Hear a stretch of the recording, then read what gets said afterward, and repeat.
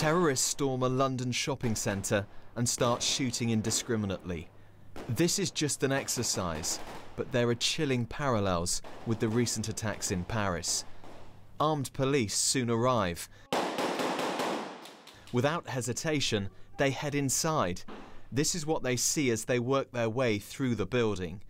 Confronting gunmen head on is a tactic the police have only revealed today, a way of dealing with attackers who want to kill, not negotiate.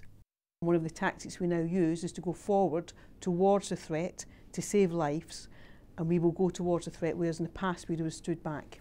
The marauding gunmen in Mumbai seven years ago prompted UK police to look again at their firearms tactics. Tactics which have been refined further after the killings in France last month. So, with all that information, we have reviewed our position, which is what you do, frankly, in any war, isn't it? You can't fight the last war, you've got to fight the war you're dealing with. Since the Paris attacks, some have questioned whether the Metropolitan Police has the number of firearms officers and the weapons needed to deal with a similar attack here. Well, today the force insisted it does have the equipment and the officers and could even boost its firearms capability if required. The simulated terror attack is still underway.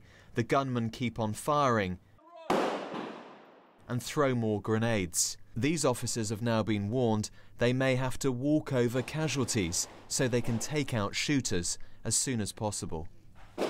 The Met say there's no intelligence about a specific attack on London, but the police hope this dramatic demonstration will actually reassure the public that they'll do all they can to save as many lives as possible if gunmen strike here.